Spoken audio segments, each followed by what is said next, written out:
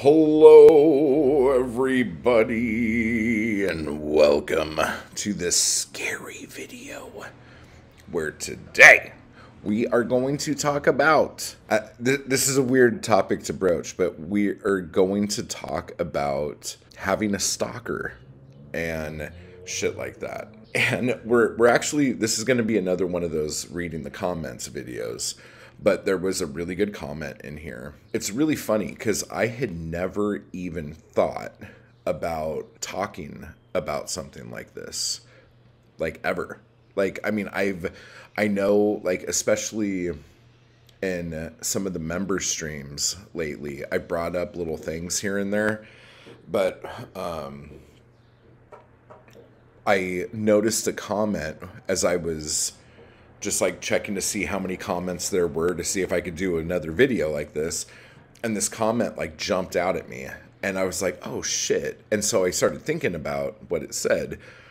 And I realized that I don't want to say I've been lucky enough, but I've been um, lucky enough to be in a few different forms of media that would maybe bring something like that. And in thinking back on stuff, I noticed that there are very different types of behavior. But the other thing about this is is that you don't have to be an artist or anything like that to end up having someone stalk you. And, and and like there's probably a ton of girls right now watching this going, "Yeah, no shit." There are certain things that we are going to be talking about right now. But I just I I really want to nail that and talk about it and give you guys some tips in hopes that at least you could lessen the risks. I guess is the best way to put that. Okay.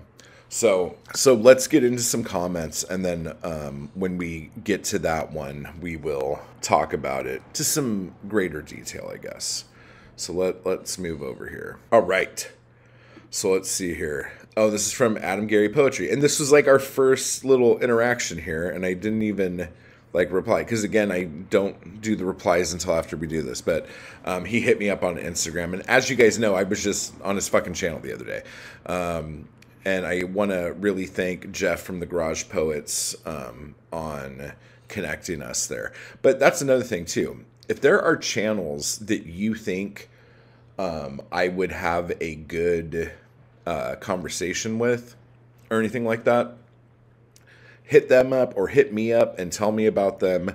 And um, I'll try to set something like that up because that was a really good talk we had. Um, and there's more to come, so that'll be great. Next one is from Deb. And the, what one? Oh, that was on the comments video. Haha, you know, I think that's supposed to be us. You know, us Canadians, we need to live vicariously through your nice weather to get through the winter. Yeah, you know, like this is where I go back and forth with that whole thing that like nature will tell you if it hates you and wants you to die. And by people who like just like yeah, I'm going to live in the snow in a blizzard and all this other stuff because this is like life. No, that's not life. Like don't do that to yourself. And also don't move to the desert where the elements are trying to kill you and it's like you don't belong here like I'm going to murder you, says nature. Go to somewhere where if you if anything drastic were to happen and like you lost power or you didn't have a house anymore, that you could go outside and not be fucking killed by nature. That's that's kind of human existence, okay? When Darwin was putting together survival of the fittest, I don't think Darwin was like, "Oh, this thing over here could definitely live as long as it, you know, could get a bank loan, maybe get a 30 year fixed mortgage on a, mm, yeah, and all this other fucking shit. I don't know. Maybe I'm talking out my ass right now. I, I just prefer to live somewhere where I know I can survive if I had to. And worse came to absolute worse. But Deb, thanks for the comment. I was so fucked up. I'm sorry. Oh, and then we got some birthday wishes. Thank you, Ethan. And then Lauren says, uh, not psychic. I wanted nice weather because it was rainy in Maryland. Yes, I've tried coconut water before and didn't like it. Then again, coffee is superior to all other beverages. I agree. Like, I love coconut water, but I don't have 17 cups of it a day. Great advice on getting more sales on poetry books. Thank you. Ah, poor Beeve.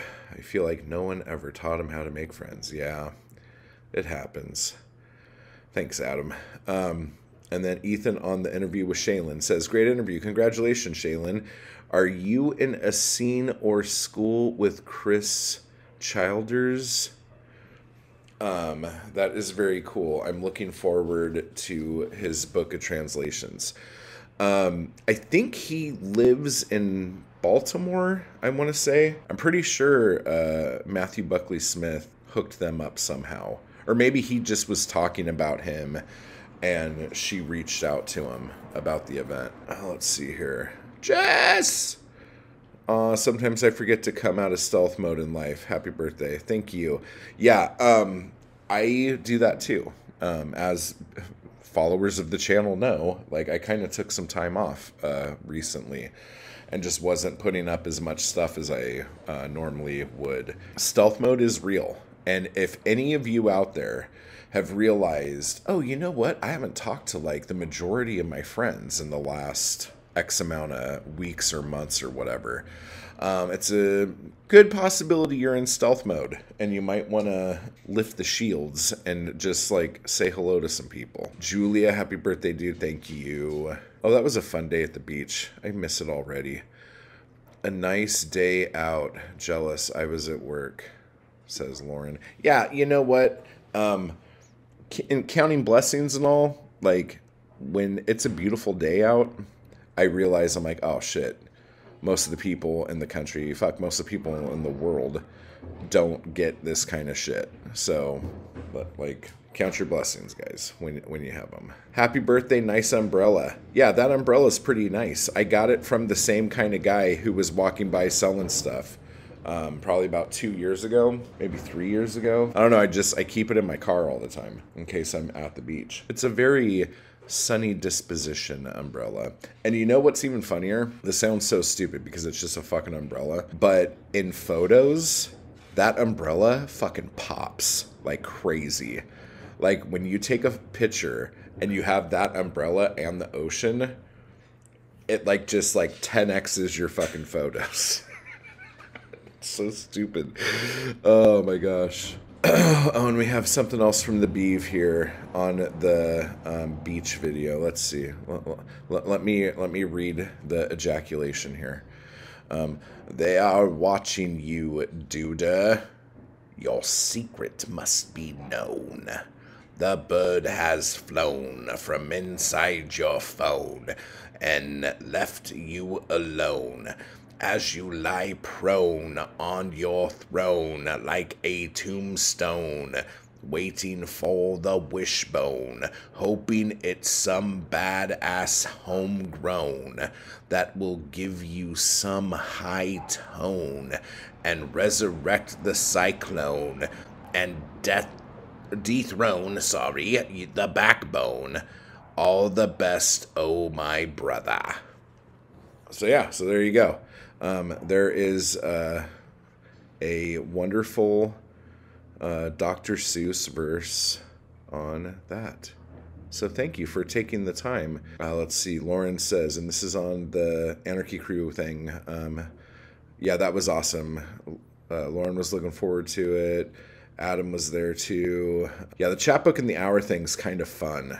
Um, I don't know. I like deadlines and I like um, doing stuff. So maybe we'll do that one of these days here. And this was on Fixed Writer Self Sabotage Part 6. Tempest Miller says, Feel like I have legit just started experiencing the come down in the last 45 minutes. Oh no. Is that a good thing or a bad thing? It sounds like a bad thing. Yeah, I've really noticed that there's a ton of Pisces people out in the world all of a sudden. Not all of a sudden. I maybe I just never fucking cared to ask. But yeah, there there were a lot of birthdays in, in the last few weeks here. Um, Lauren says, I hope you do more like this. So much great insight.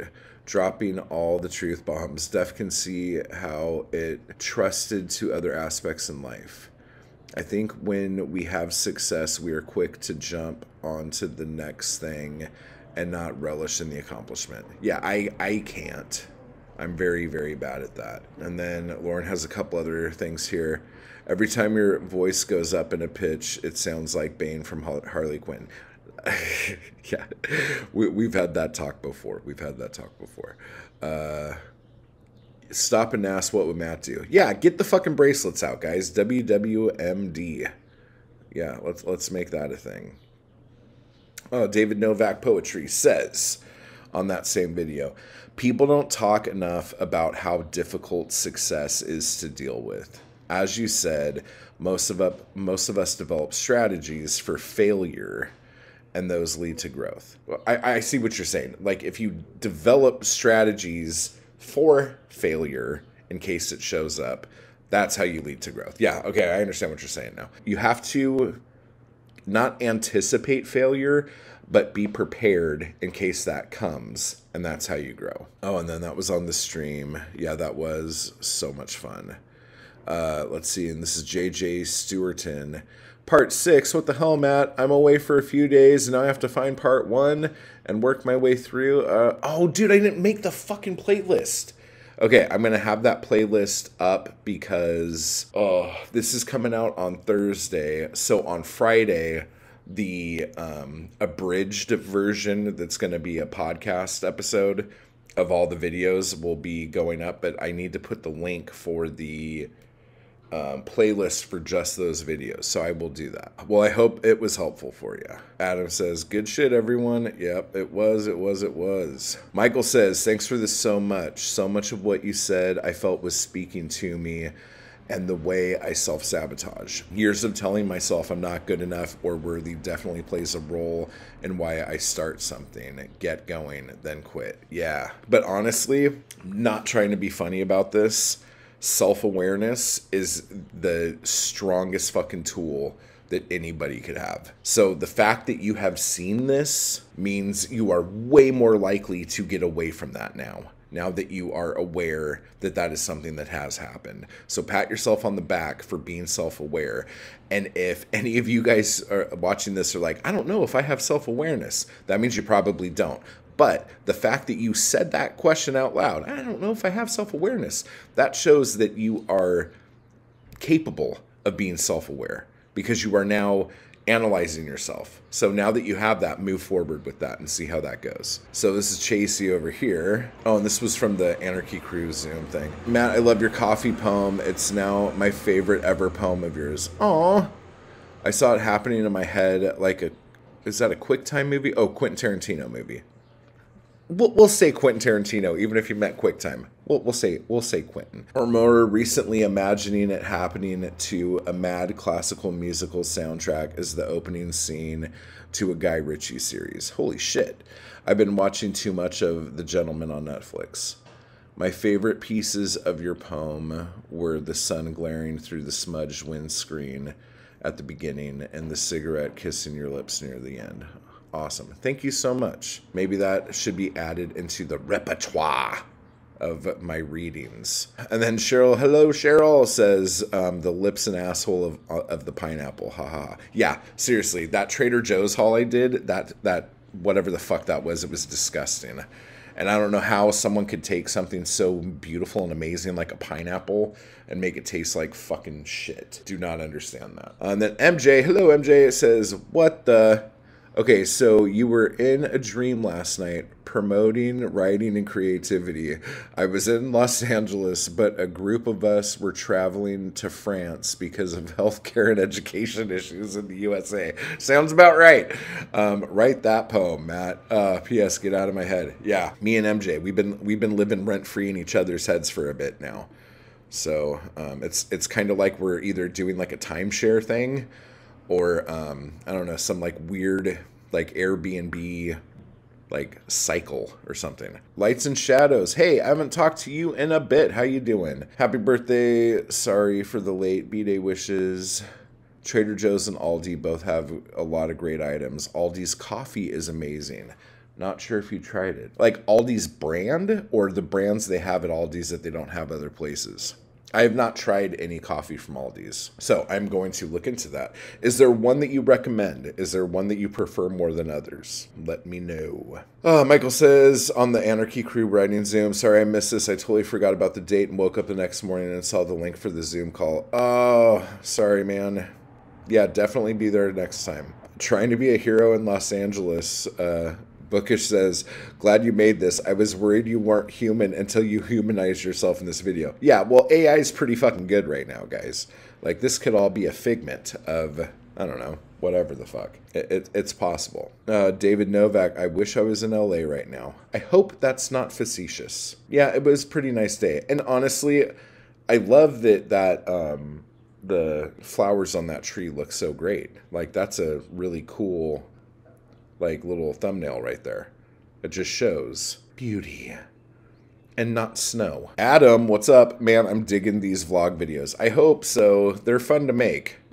Um, it, it's just weird because like when you are in a place that is so normal to you and the things you do are so fucking average, you just think that no one else would ever give a shit about like just normal shit you do every day.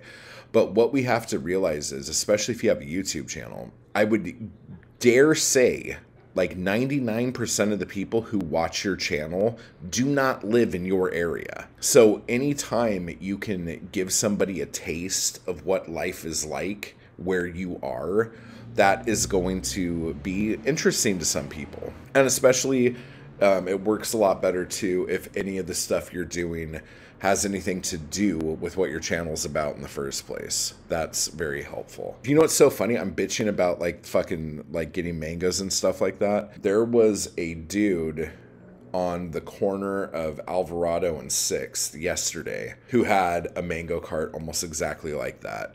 And it was half the price.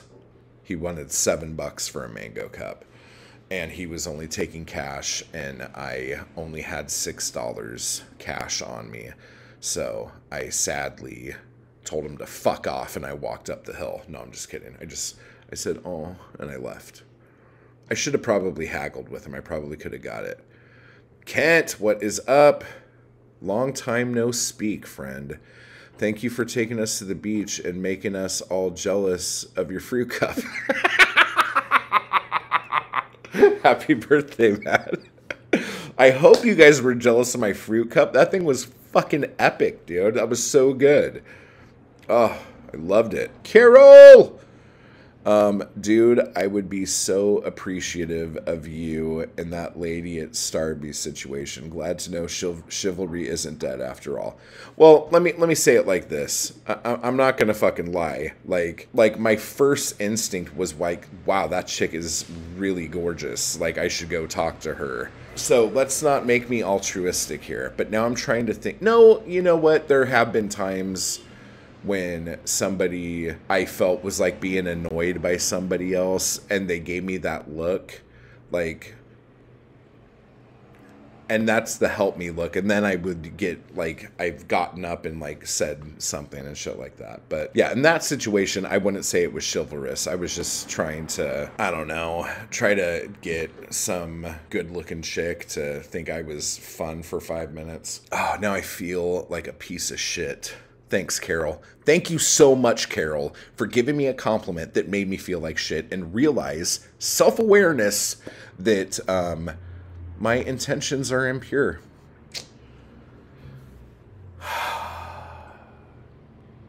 Fucking Carol, dude. God damn it. I'm just one of those guys. Thanks, Carol, for pointing out my flaws. Thanks for pointing out my flaws by giving me a compliment. Oh, Carol, Unbelievable. See, this is from Dan Mills. Thanks for the videos. They've been helpful and hope you had a happy birthday, sir. Thank you, Dan. And I hope that these are like helpful for you. Uh, let's see. Lauren says, great vlog cracking up at, oh, look, now there's a parking spot. Oh, yeah. I didn't say anything. I felt too bad. I, I, I couldn't bring myself to um, going, oh, a parking spot just opened up. Couldn't do it. Couldn't fucking do it. Oh, what beach is it? Oh, that was Santa Monica. Oh, and we were talking about that. Yeah, that's Santa Monica Beach right there. Um, it's I was by uh, lifeguard station 13. It's right before the pier. If you are coming, if you're going southbound down the coast, it's the last lifeguard station before the pier, and um, that's a cool little area right there. Because you have that uh, boardwalk that goes by those awesome like beachfront places and then it takes you to the pier and then there's a bunch of like restaurants and stuff to do on the pier and behind the pier. And then if you keep going down that um, boardwalk area you end up in venice really soon after that. So um, it, it's a it's a cool little area yes and the i'm gonna assume that shit yes and the shit you deal with inspires your poetry okay now this is from tempest miller um, actually, I'm to come back to this because I want to end on that. So we're to come back to that in a second here. Um, let's see. Russell666 says, eaten by a fruit cup. Um, yeah, I would have let that fruit cup eat me. I would have let that woman who was like making the fruit cup take me home.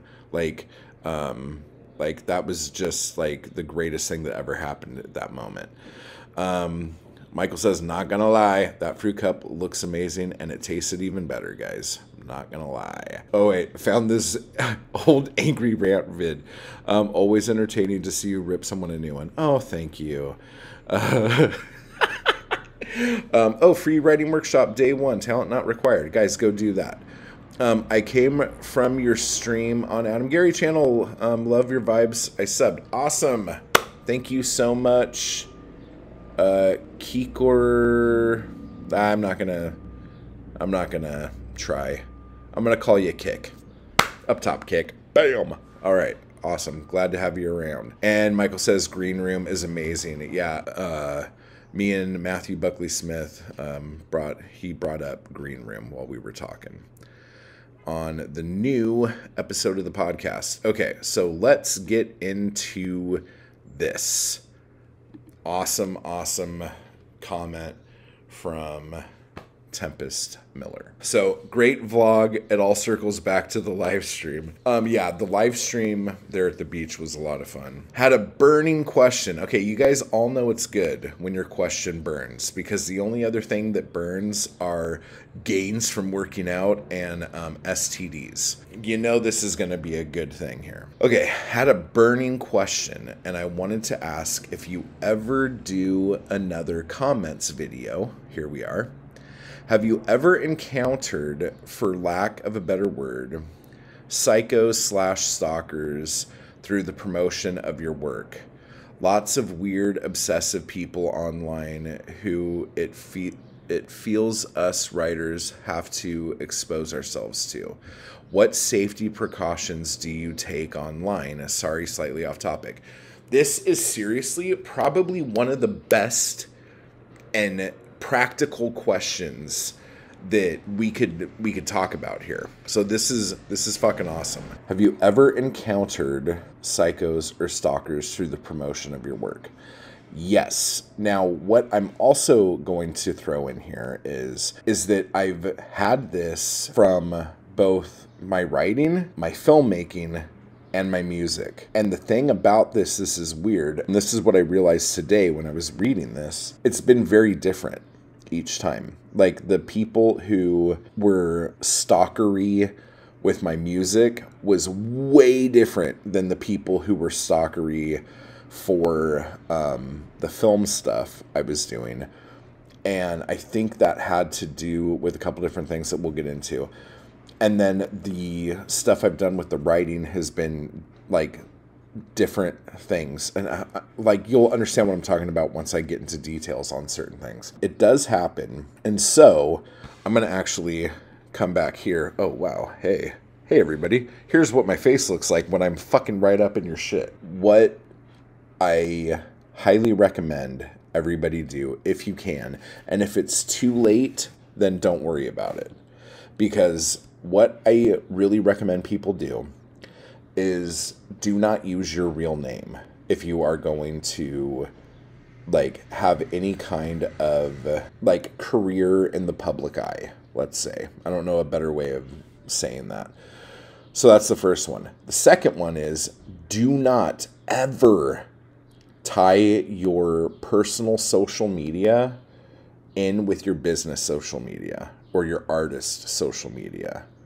Um, another way of saying this is is if you have um, any family on your social media, that is no longer social media you can do business off of. You need a separate social media for that. Okay. And a lot of the reason why I'm saying this isn't so like you're being embarrassed in front of your family, it's to protect your family. Like, if you don't want to do this for you, do it for your family.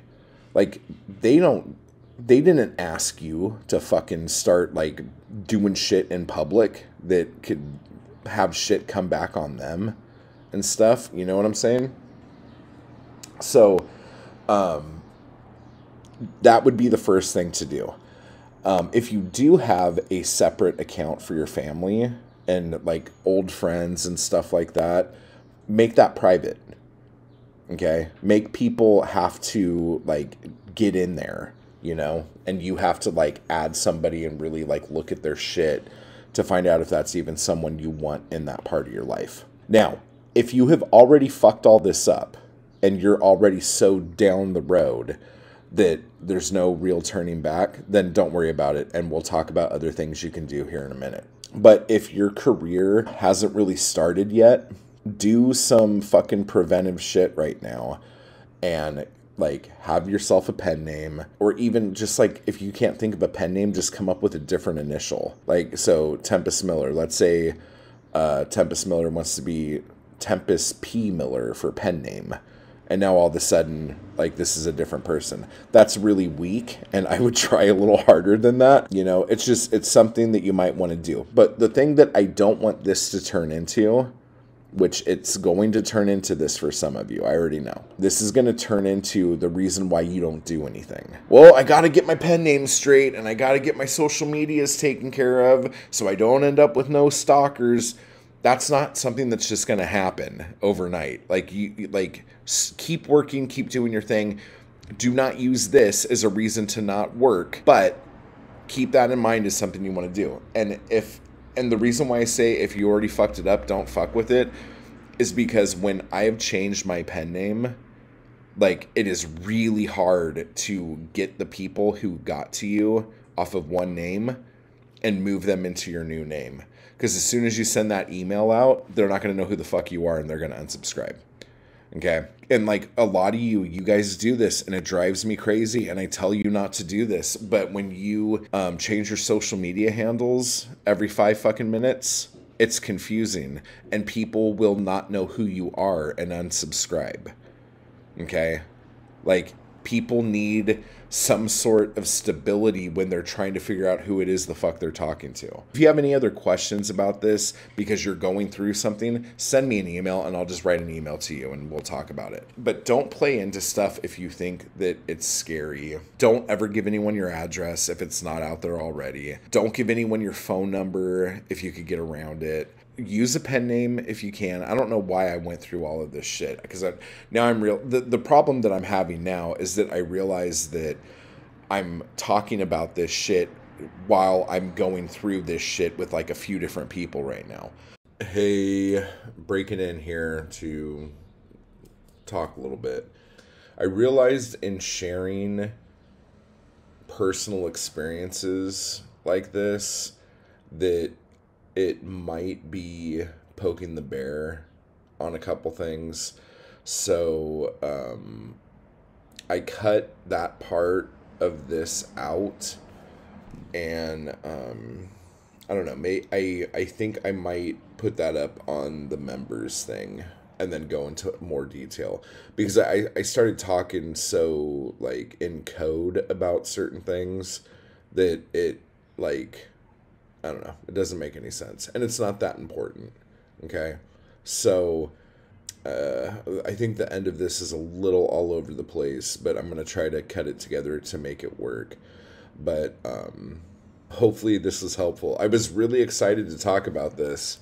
And then as I was talking about it, I realized shit, maybe I shouldn't be talking about this. So, um, and now back to your um, program that is in progress. Because um, some of the people who have been saying dumb shit to me and sending me dumb fucking emails, um, they're still in the process of doing those things. So, um, I don't know. Again, talking about poking the bear, I don't know like how. I mean, because like having an online troll is one thing, having somebody stalk you is another thing. Having your you feel like your life is in danger is a completely different thing. Gosh, maybe I should do some videos like this on the members thing because this is gonna. I I can't talk about this shit without getting very personal about the things I'm talking about. I don't know how to like because if I give the situations right now, the person who did the things will know that I'm talking about them, and then that gives them validation and all that other shit. So I don't know. Maybe maybe I should stop talking about this altogether now. But okay, so here's what you do: have a pen name, um, have separate social medias. Do not have your private, your like personal life social media be connected to your like artwork social media. Um, get a fucking PO box from day fucking one. And everything about your business needs to go through that PO box. Do not ever attach your domicile as a part of your work. Okay. Um, don't ever invite fans over to your house. Um, if you if someone's a fan of your stuff and then you end up hanging out like in public places at events or anything like that and then you build a friendship then that's fine. But never just have random strangers that know a lot about you and you know jack shit about them showing up at your house. Don't fucking do that. And then this is always like the um, legit thing. And i see people never doing this and it drives me crazy if you ever feel that you are actually in danger, do something about it. Don't think like, because all of us artists, we're like, oh no, like we're not that good. Uh, we have self doubt. You get self doubt too when you're thinking about these motherfuckers who like are giving you shit. You're like, well, they're not gonna fucking do anything. Like now I'm being fucking crazy. Do I really think I'm that fucking amazing that any of these fucking people are actually gonna do something? Yeah, sometimes they'll open your screen and stick their fucking head in, right? Okay, whatever. That's a whole other thing. Do not be afraid to um, report things to YouTube report things to Instagram or Facebook. Like you need to have a paper trail if you can. And if you feel threatened, call the fucking police. That's what they're fucking there for to serve and protect. So now they can serve you and now they can protect you. Okay? Like most people who end up, you know, end up like that because they had a bunch of warning signs from somebody and didn't think nothing of it. And then the next thing they know, they're dead. Okay? And people go, oh, wow, look at all of these signs. Like this was obviously going to happen but they didn't act on it. Like the person who is being stalked didn't think to do these things. So um, I don't know if this has even been helpful. This might have just been a clusterfuck and a shit show, but um, yeah, I just I got a little gun shy there at the end. I don't want to fucking like say too much shit. So it does happen. Um, it like I'm sure it isn't rampant, but you only need one to make you never want to fucking do anything like this again. You know what I'm saying? Um, so just be cautious, be wary. Think about the important people in your life and how the things you do affects them. Um, but if you can just make your art your art and um, keep everything separate, then everything should be fine and you shouldn't have anything to worry about. Okay? So thank you for all the lovely comments, everybody. You guys are awesome, and we'll keep doing this. I'm going to go say hello to all of you now. Um, but yeah, keep buying my books, type hard. Um, hopefully, I will see you guys now that all the stalkers are watching this. I will see you, stalkers, at the fucking Bombay Beach Lit, Lit Fet. Lit, Lit Fest. It's free. It's on Saturday. March 23rd, out in the desert. Come buy my books. Okay. I will talk to you all later. I just want to give a quick thanks to those people who make these videos possible. Anarchy Crew and my followers on Patreon. I appreciate the hell out of you guys. Thank you so much for keeping me going to keep this content possible. You guys are awesome. And if you'd like to join the crew or the Anarchy Crew, just hit the join button beneath this video. And if you'd like to become a member of my Patreon, you can run over to the link down below to do that as well. Thank you.